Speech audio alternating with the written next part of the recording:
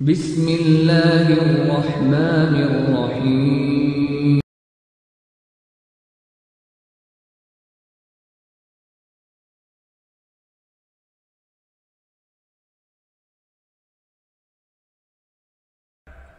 நம்முடைய தாவா சென்டரில் நான்கு மாதம் படித்துவிட்டு தற்போது சிவ சிவகாசி பள்ளியிலே இமாமாக இருக்கிறார் ஜக்கரியா என்ற அந்த சகோதரர் காணாத உலகில் கண்டுகொண்டேன் கடவுளை என்ற தலைப்பிலே இப்போது உங்களிடம் உரையாற்றுவார். அதற்கு பிறகு நன்றி உரை. பிறகு சபைகளையும் துவா ஓதி நாம் செல்வோமாக என்று கேட்டுக்கொள்கிறேன்.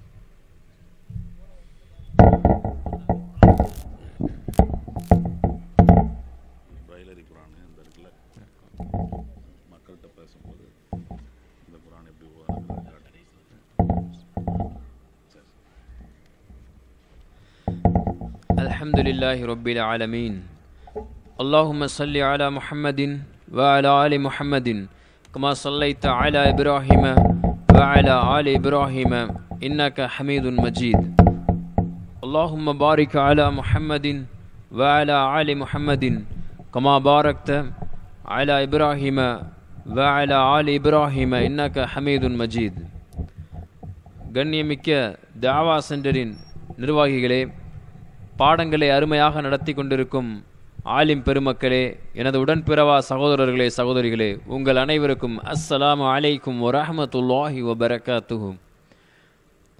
என்னுடைய பெயர் இப்பொழுது ஜக்கரியா.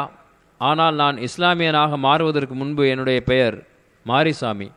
நான் பூர்வீகமான ஒரு இந்து குடும்பத்தில் பிறந்து வளர்ந்து இஸ்லாமிய மார்க்கத்தில் நுழைந்தவன். நான் இஸ்லாமியனாக மாறி கிட்டத்தட்ட ஐந்து ஆண்டுகள் நிறைவடைந்து விட்டது. என்னை பற்றி ஒரு சிறிய அறிமுகத்தை செய்து கொள்ளலாம் என்று இருக்கிறேன். நான் ஆயிரத்தி தொள்ளாயிரத்தி தொண்ணூற்றி நான்காம் ஆண்டு என்னுடைய பெற்றோருக்கு மூன்றாவது குழந்தையாக பிறந்தேன். நான் பார்வைத்திறன் குறையுடைய மாற்றுத்திறனாளியாய் பிறப்பதற்கு மருத்துவ ரீதியிலான சில காரணங்கள் கூறப்படுகின்றது. அப்படி என்னுடைய கல்வி எவ்வாறு இருக்கும் என்று என்னுடைய பெற்றோர்கள் யோசித்துக் கொண்டிருக்கும் போதுதான் கிறிஸ்தவ மக்கள் எங்கள் வீட்டிற்கு வந்து கிறிஸ்தவ மதத்தை எல்லாம் பற்றி சொன்னார்கள். எங்களுடைய குடும்பம் என்பது பூர்வீகமான ஒரு இந்து குடும்பம் இந்து பற்று நிறைந்த குடும்பம் ஆனால் இந்துத்துவ கொள்கைகளை மட்டும் ஆதரிக்காத ஒரு குடும்பம் காங்கிரஸ் சித்தாந்தத்தில் பற்று கொண்ட ஒரு குடும்பம் என்பதால் கிறிஸ்தவ மதத்திற்குள் எங்கள் குடும்பம் செல்லவில்லை. அவர்களின் கவனம் என் மீது திரும்பியது. ஆனால் என் தாய் தந்தையர் இதற்கு மறுப்பு தெரிவித்து விட்டார்கள். உடனடியாக எனது உறவினர்கள் எல்லாம் சேர்ந்து வற்புறுத்தி எப்படியாவது ஒரு கிறிஸ்தவ நிறுவனத்தில் சேர்த்து படித்து வைக்க விடலாம் என்று யோசித்தார்கள். எங்கள் ஊருக்கு பக்கத்திலே நாகலாபுரம் என்று ஒரு ஊர் இருக்கிறது. அங்கே ஒரு சிஎஸ்ஐ திருச்சபையைச் சேர்ந்த ஒரு பாதிரியாரின் பரிந்துரையின் பேரில் பாளையங்கோட்டை சிஎஸ்ஐ பார்வைத்திறன் குறையுடையவர்களுக்கான மேல்நிலைப் பள்ளியில் கடந்த இரண்டாயிரத்தி மூன்றாம் ஆண்டு நான் சேர்க்கப்பட்டேன். அந்த பள்ளியில் உள்ள அனைத்து கிறிஸ்தவ ஆசிரியர் பெருமக்களும் உண்மையில் சேவை குணம் கொண்டவர்கள். எப்பொழுது வேண்டுமானாலும் நல்ல சேவை மனப்பான்மை கொண்டவர்களாக அவர்கள் இருந்தார்கள். நான் அங்கு பத்தாம் வகுப்பு வரையிலும் படித்தேன். அங்கு நான் படித்த காலங்களிலெல்லாம் அங்கே படிக்கின்ற அனைத்து மாணவர்களும் இந்துவாக இருந்தாலும் சரி கிறிஸ்தவர்களாக இருந்தாலும் சரி இஸ்லாமியர்களாக இருந்தாலும் சரி திருச்சபைக்கு வர வேண்டும் கூட்டு பிரார்த்தனைகளில் பங்கெடுக்க வேண்டும் என்று ஒரு சட்டம் நடைமுறையில் இருந்தது. அவ்வாறு நானும் பங்கெடுக்க வேண்டிய நிர்பந்தமும் ஏற்பட்டது. ஆனால் அதன் மீது எனக்கு அவ்வப்போது அ- அதிருப்தி எழுந்தது உண்டு ஆனால் அதையும் பொருட்படுத்தாமல் கட்டாயத்தின் பேரில் நான் பங்கெடுத்து கொண்டேன். காலப்போக்கில் ஏராளமான பார்வையற்ற மாணவர்கள் கிறிஸ்தவ ஆலயங்களில் பைபிள் படிக்க வேண்டும் என்று சொன்னார்கள். அதேபோல எனக்கும் படிக்கக்கூடிய வாய்ப்பை கொடுத்தார்கள். ஒரு குறிப்பிட்ட காலத்திற்கு மேல் பல்வேறு வகையில் திறமைகளை வளர்த்து கொள்ள வேண்டும் என்று நான் ஆசைப்பட்டு அதிகமான காம்படிஷன்களெல்லாம் போனதுண்டு. அப்படி திருச்சபை காரியங்களிலும் என்னை பயன்படுத்தினார்கள். ஆனால் நான் பெருவாரியான காரியங்களெல்லாம் எனது பெயருக்காகவும் ஒரு அகந்தை கொண்டவனாகவும் தான் செய்து கொண்டிருந்தேன். ஒருவர் என்னை பார்த்து கேட்டார் நீங்கள் ஞானஸ்தானம் எடுத்து விடலாம் என்று. நான் சொன்னேன் எனக்கு அதில் அதாவது எனது மனசாட்சி என்னை தடுத்து நிறுத்தியதால் அதற்கு நான் விருப்பம் தெரிவிக்கவில்லை. ஆக அப்படி இருந்த காலத்தில்தான் அங்கே நான் படித்து கொண்டிருந்தேன். அப்படிப்பட்ட ஒரு சூழ்நிலை இருந்தது. ஆக அப்படி நான் படித்து கொண்டிருக்கும் போது கூட என்னோடு படித்த ஒரு சில இஸ்லாமியர்கள் இஸ்லாத்தை பற்றி என்னிடம் பேசியது கிடையாது. ஏன்னால் அவர்களுக்கே இஸ்லாம் தெரியாது. காரணம் அவர்கள் வீட்டில் வளர்ந்த விதம் வேறு. ஆனால் பள்ளியில் வந்தால் ஒரு கிறிஸ்தவரை போல் அவர்கள் வாழ வைப்பது என்பது அவர்களால் கூடாத ஒரு காரியமாக இருந்தது. ஆக அங்கு உண்மையிலேயே கிறிஸ்தவ மக்கள் என்பவர்கள் எல்லாம் அதிக சேவை மனப்பான்மை கொண்டவர்களாகவும் அதிக அன்புடையவர்களாகவுமே நான் பார்த்திருக்கிறேன். ஒவ்வொரு நேரமும் மாணவர்களிடம் பேசும்போது எங்கள் பிள்ளைகள் என்று சொல்லுவார்கள். அந்த அளவிற்கு ஒரு நேசம் கொண்டவர்கள். ஆனால் அவர்களுக்கு நான் மாறு செய்கிறவனாகத்தான் அங்கு படிக்கின்ற காலத்தில் இருந்தேன். உதாரணத்திற்கு ஒன்று சொல்ல வேண்டுமென்றால் எனது நம்பிக்கை என்பது ஒரு புறம் இந்து மத ஜாதகத்தின் மீதும் இருந்தது. மற்றொரு புறம் அவர்கள் கற்றுக் கொடுத்த கிறிஸ்தவத்தின் மீதும் சில நம்பிக்கைகள் எனக்கு என்னிடம் இருந்தது. குறிப்பாக அப்படி இருந்த காலத்தில் ஒரு உதாரணத்தை சொல்ல வேண்டுமென்றால் இரண்டாயிரத்தி எட்டாம் ஆண்டு கிறிஸ்தவர்களுக்கு எதிராக கட்டவிழ்த்து விடப்பட்ட கலவரத்தை கூட நான் நியாயப்படுத்தி பேசியிருக்கிறேன். அப்படி நான் இருந்தேன். நான் பத்தாம் வகுப்பு இரண்டாயிரத்தி பதிமூன்றாம் ஆண்டு முடித்த பிறகு சென்னை அடையாறிலே இருக்கிற புனித லூயிஸ் பள்ளியில் என்னை சேர்ப்பதற்கு அங்குள்ள ஒரு ஆசிரியர் பரிந்துரை செய்தார். அதன் பேரில் இரண்டாயிரத்தி பதிமூன்றாம் ஆண்டு Saint Louis Higher Secondary School Chennai அடையாறில் நான் பனிரெண்டாம் வகுப்பு படிப்பதற்காகவும் சேர்க்கப்பட்டேன். பதினொன்று பனிரெண்டு அங்கு படிக்கும்போதுதான் ஷாகுல் ஹமீது ராசிக் என்று ஒரு இஸ்லாமிய தோழர் என்னோடு படித்தார். அவர் நல்ல ஒரு தௌஹீது கொள்கையிலே உறுதியாக இருப்பவர் நல்ல ஒரு நோன்பாளி. என்னோடு பேசி கொண்டிருக்கும்போது சொன்னார் நீங்கள் பத்து ஆண்டுகள் கிறிஸ்தவ பள்ளியில் படித்திருக்கிறீர்கள் இப்பொழுதும் நீங்கள் கிறிஸ்தவ பள்ளியில் படிக்கிறீர்கள். இயேசுவை நீங்கள் யார் என்று சொல்கிறீர்கள்? என்றார். நான் சொன்னேன் இயேசு கடவுள் இல்லை அவரை நான் வணங்க மாட்டேன் என்றேன். அப்பொழுதுதான் அவருக்கு புரிந்து கொண்டது சரி இவருக்கு எப்படியாவது இஸ்லாத்தை பற்றி சொல்லணும்னு சொல்லிட்டு என்கிட்ட சில விஷயங்களை சொல்ல ஆரம்பித்தார். இப்போ நான் உடனடியாக பேச ஆரம்பித்து விட்டேன். நீங்கள் எல்லாம் தீவிரவாதிகள் தானே. உங்கள் மார்க்கம் தீவிரவாதத்தை தானே போதிக்கிறது என்று நினைத்தேன். நான் நினைத்து கொண்டதெல்லாம் குரான் தீவிரவாதத்தை தான் சொல்லுகிறது. இஸ்லாமியர்கள் என்றாலே தீவிரவாதிகள் என்று நான் நினைத்து கொண்டிருந்தேன். அதாவது ஒரு கட்டத்தில் இஸ்லாமியர்களுக்கு காவல்துறையில் இடம் கொடுக்கக்கூடாது என்றதெல்லாம் நான் நினைத்தது உண்டு. காரணம் அவர்கள் தீவிரவாதிகள் என்று நான் யோசித்தேன். மஸ்ஜிதுக்குள்ளெல்லாம் பெரிய பெரிய துப்பாக்கிகள்லாம் வச்சுருப்பாங்கன்னு நினச்சேன். அப்படி நினைத்து கொண்ட காலத்தில் எல்லாம் அவர் எனக்கு குரானை பற்றி கொஞ்சம் கொஞ்சமாக சொல்ல ஆரம்பித்தார். ஆனால் நான் வெறுப்போடும் வேண்டாத வெறுப்போடும் நான் அவரோடு வாதம் செய்ய ஆரம்பித்தேன். அதன் பிறகு ஒரு கட்டத்தில் நான் கூறினேன் குரானையே நான் மாற்றி அமைத்து விடுவேன் என்று. அதன் பிறகு எனக்கு எழுந்த மன உளைச்சல் மிக கடுமையாக இருந்தது. அந்த நேரத்தில் கிறிஸ்தவர்கள் எல்லாம் ஒரு ஆடியோ பைபிள் ஒரு ஐபேடு ஒன்று கொடுத்தாங்க. அதை கேட்டும் கூட எனக்கு மன உளைச்சல் போகலை. மீண்டும் அவர் என்னை சந்தித்தார் இரண்டாயிரத்தி பதிமூன்று நவம்பர் மாதம். நீங்கள் இயேசுவை யார் என்று சொல்கிறீர்கள் என்றார். இயேசு கடவுள் இல்லை அவரை நான் வணங்க மாட்டேன் அப்படின்னு சொன்னேன். உடனே அவர் சொன்னார் குரானும் அதைத்தான் சொல்கிறது அப்படின்னாரு.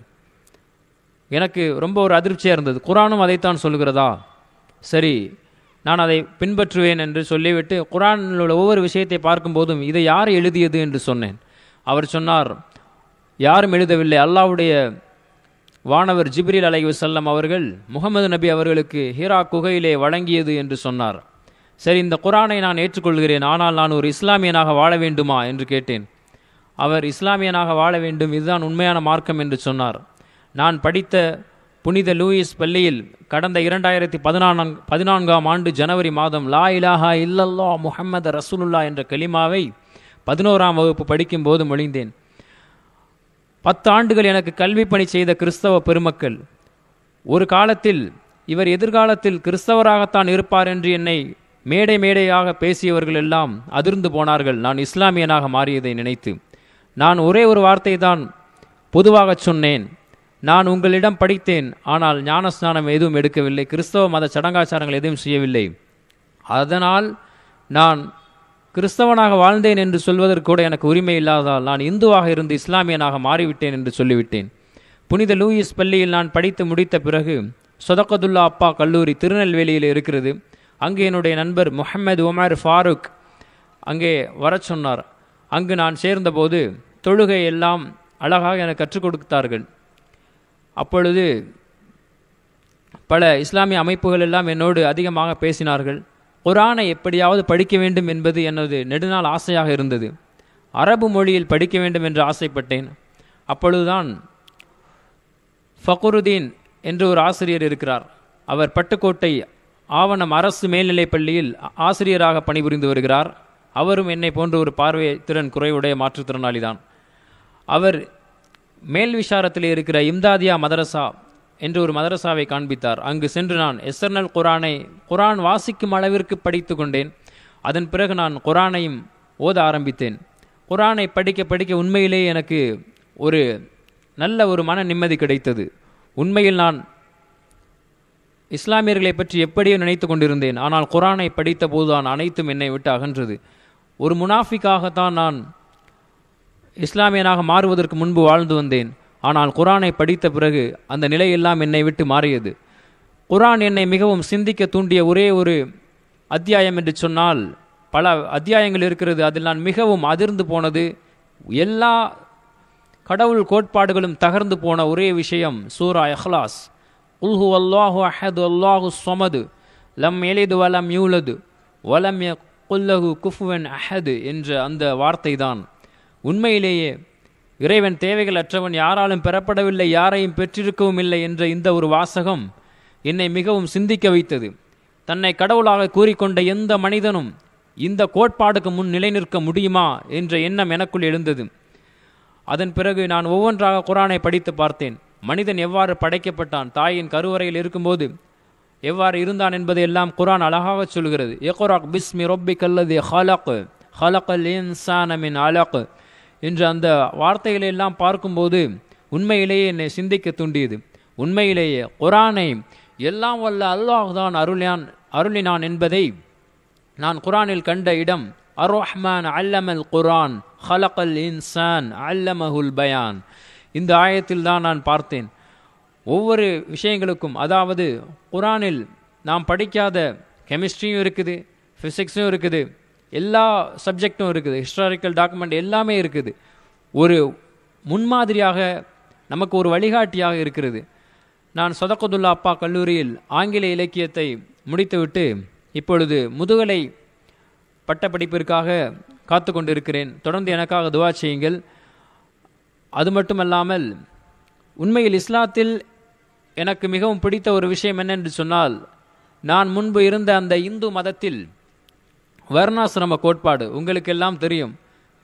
தாழ்ந்தவன் உயர்ந்தவன் பிற்படுத்தப்பட்டவன் மிகவும் பிற்படுத்தப்பட்டவன் இப்படி ஜாதி என்னும் சாக்கடையினால் அனைவரும் பல்வேறு கணக்கான மக்கள் மூழ்கி இருக்கிறார்கள்.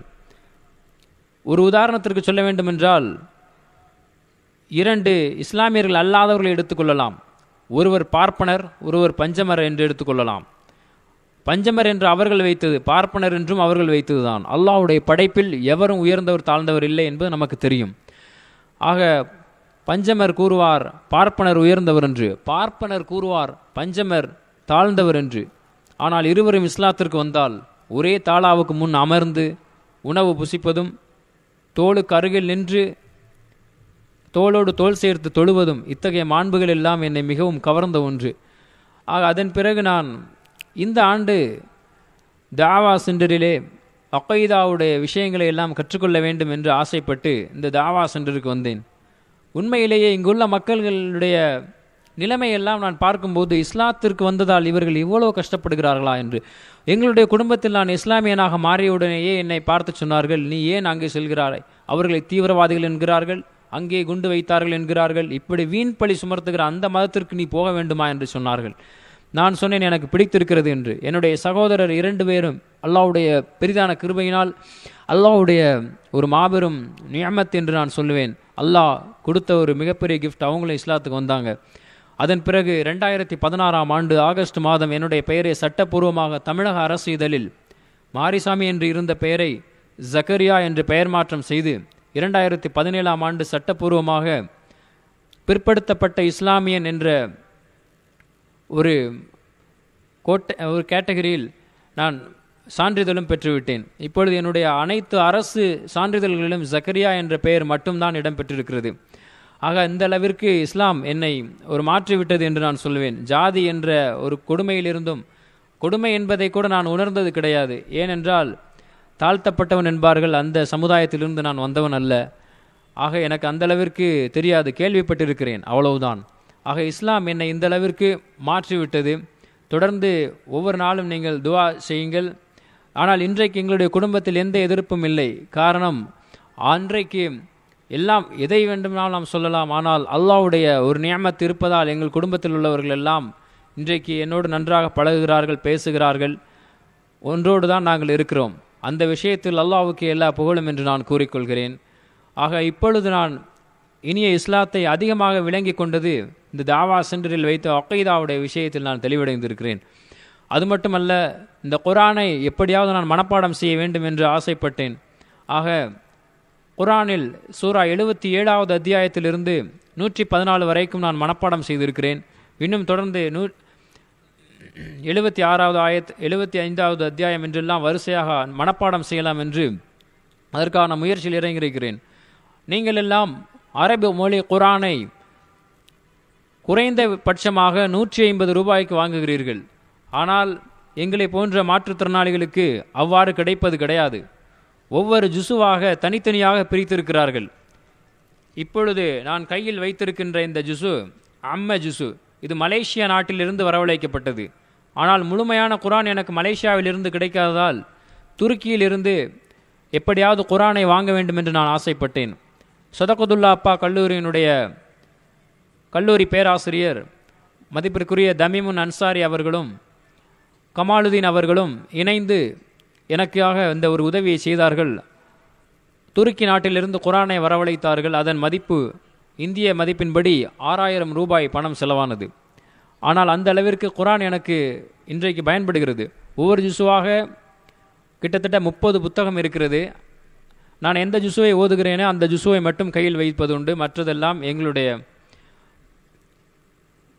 இல்லத்தில் பத்திரமாக இருக்கிறது. பயன்படும் போது நான் எடுத்து ஓதிக்கொள்கிறேன். இப்பொழுது உங்களுக்கு நீங்கள் இந்த பிரெயில் குரானை நான் எவ்வாறு ஓதுகிறேன் என்பதை பார்க்க வேண்டும் என்பதற்காகவும் குறிப்பாக எந்த ஒரு துனியாவினுடைய நன்மையும் கருதாமல் எல்லாம் வல்ல அல்லாஹுவின் நன்மையை நான் பெற வேண்டும் என்பதற்காகவும் தான் இந்த குரானை நான் உங்களிடம் ஓதி காண்பிக்கலாம் என்று இருக்கிறேன் அதற்கு முன்பு ஒரு செய்தியை சொல்லிக்கொள்கிறேன் உண்மையிலேயே ஒரு இஸ்லாமிய குடும்பத்தில் பிறந்த ஒவ்வொரு பார்வைத்திறன் குறைவுடைய மாற்றுத்திறனாளிகளும் கிறிஸ்தவ நிறுவனத்தில் கல்வி பயின்று அவர்கள் கிறிஸ்தவர்களாகவே மாறிவிடுகிறார்கள். சிலர் இந்துக்களாக மாறிவிடுகிறார்கள். ஒரு சகோதரர் அப்படித்தான் கல்வி கற்றார். அவர் சொன்னார் இஸ்லாம் எனக்கு என்ன செய்தது? முஸ்லிம்கள் எனக்கு என்ன செய்தார்கள்? என்று சொல்லி அவர் கிறிஸ்தவராக மற்றொருவரெல்லாம் இந்துக்களாக மாறிவிட்டார்கள். ஆக நம்முடைய சமுதாயத்திலும் மாற்றுத்திறனாளிகளுக்கென்று ஒரு நல்ல கல்லூரிகளும் கல்லூரிகள் இல்லை. நல்ல ஒரு பள்ளிகள் இருந்தால் நிச்சயம் நம்முடைய மக்களுக்கு அக்கைதாவுடைய விஷயங்களும் தீனுடைய விஷயங்களும் நாம் கற்றுக் கொடுக்கலாம். கூடவே உலக கல்வியும் கற்றுக் கொடுக்கலாம் என்ற இந்த கோரிக்கையை நான் பணிவன்போடு வைத்துக்கொண்டு உங்கள் முன் ஒரு சூறாவை ஓதலாம் என்று இருக்கிறேன்.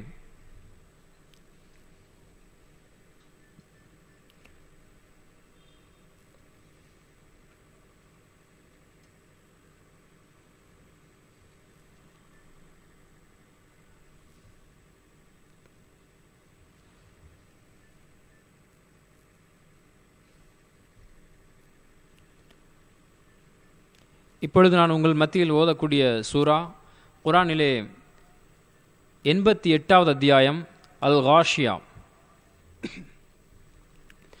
أعوذ بالله من الشيطان الرجيم بسم الله الرحمن الرحيم هل أتاك حديث الغاشية وجوه يومئذ خاشعة عاملة ناصبة تصلى نارا حامية تسقى من عين آنية.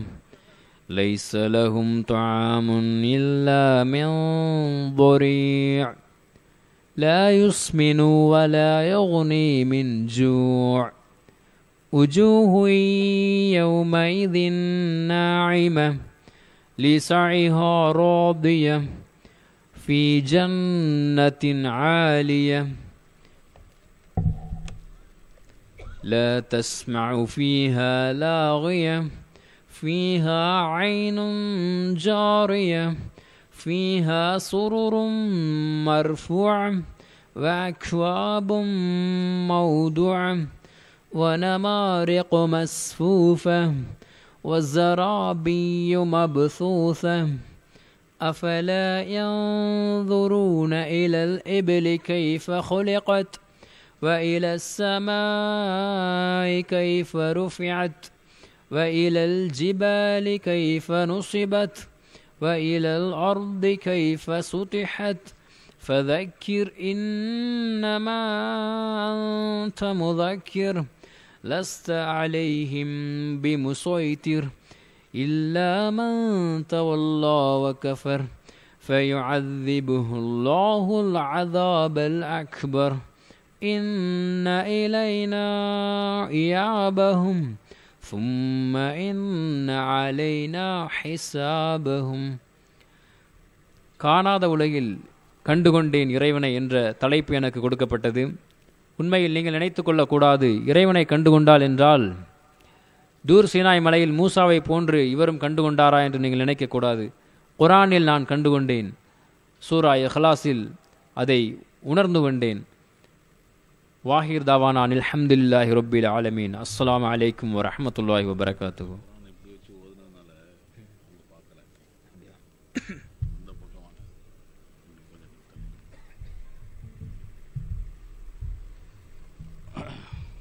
இந்த குரான் வந்து அவர் இங்கே வச்சு ஓதுனதுனால உங்களால் பார்க்க முடியல.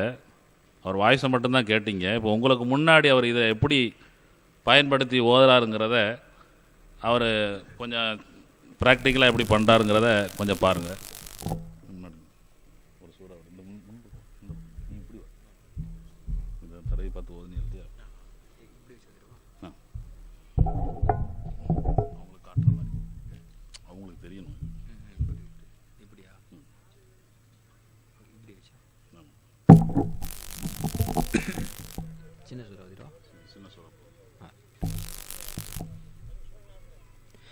أعوذ بالله من الشيطان الرجيم. بسم الله الرحمن الرحيم. سورة الماعون. أرأيت الذي يكذب بالدين؟ فذلك الذي يدع اليتيم. ولا يحض على طعام المسكين فويل للمصلين الذين هم عن صلاتهم ساهون الذين هم يراءون ويمنعون الماعون صدق الله العليم பார்த்து ஓதுறவங்களுக்கு இவ்வளோ கஷ்டமாக இருக்குது நீங்கள் இதை வச்சு எப்படி அந்த தடவி பார்த்து எந்த எப்படி ஓதுறீங்க? கொஞ்சம் மெத்தடை ஒரு ஒரு ரெண்டு நிமிஷம் மூணு நிமிஷம் சொல்லுவோம் அதை டச் பண்ணி ஓதுறதுன்றது வந்து எப்படின்னு கேட்டிங்க அப்படின்னா நீங்கள் படிக்கிற அதே அலிஃப் பா தா அந்த லெட்டரோட ஃபார்மேட்டு தான். இப்போ சேரு ஜபரு பேஷ் இந்த மாதிரி சில கிராமட்டிக்கல்ஸ்லாம் இருக்குது இதே மெத்தடு தான். ஆனால் எழுத்து வடிவம் என்பது வேறுபட்டு இருக்கும் உதாரணத்துக்கு சொல்லணும் அப்படின்னா பிரெயில் லெட்டர்ஸ் வந்து ஆறு புள்ளிகள் அடங்கியிருக்குது. லெஃப்ட் சைடு வந்து ஒன் டூ த்ரீ சொல்லுவாங்க. ரைட் சைடில் வந்து ஃபோர் ஃபைவ் சிக்ஸ் இந்த ஆர்டரை யாரும் மறக்கவே கூடாது. இதன்படி லெஃப்ட் சைடில் உள்ள ஒன் டூ த்ரீ இந்த டாட்டில் டாட் ஒன் இருந்தால் அது அலிஃப் டாட் ஒன் டூ இருந்தால் பா பா தா வந்து dot two three four five இருந்தால் தா. இப்படி எல்லா லெட்டர்ஸ்க்குமே வந்து அந்த புள்ளிகளின் எண்ணிக்கையின் மையமாக தான் இருக்குது. இதே மாதிரி இங்கிலீஷ்க்கும் இப்படி தான் தமிழுக்கும் இப்படி தான் கிட்டத்தட்ட உலகில் உள்ள பல மொழிகளில் இந்த பிரெயில் எழுத்து முறை என்பது சென்றடைந்திருக்கிறது. இப்படி அரபியிலும் இருக்கிறது. ஆக எல்லாமே அந்த என்ன சொல்கிறதுன்னா எஸ்எர்னல் குரானில் இருக்கிற அதே தஜ்வீது சட்ட முறைப்படி எழுத்து வடிவம் மட்டும் இந்த பிரெய்லி முறையிலே மாறுபட்டு இருக்கும் மற்றபடி சட்டங்கள் எல்லாமே சேம் தான்.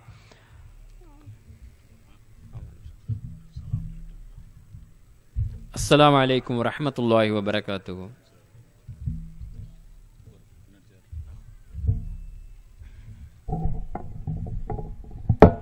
ஜசாக்முல்லா ஹைரன் சுக்ரன் ஜசீலன் எந்த அளவுக்கு குரானை மிக அழகான முறையில் இந்த புத்தகத்தை மலேசியாவிலிருந்து வரவழைத்து ஒரு இஸ்லாத்தை ஏற்றுக்கொண்ட சகோதரர் எவ்வளவு ஆழமான முறையிலே அதை பிடிவாதத்தோடு கற்றிருக்கிறார் என்பதை நீங்கள் பார்த்து கொள்ளுங்கள். ஆனால் இரண்டு கண்களும் இருக்கக்கூடிய நாம் இன்றும் இத்தனை வயசாகியும் முப்பத்தஞ்சு நாற்பது நாற்பத்தஞ்சு வயசாகியும் குரானை இன்றும் ஓதாமல் இருக்கிறார்களே இவரை பார்க்கும்போது அவர்கள் என்ன பதில் சொல்லப் போகிறார்கள் என்பதை புரிந்து கொள்ள வேண்டும்.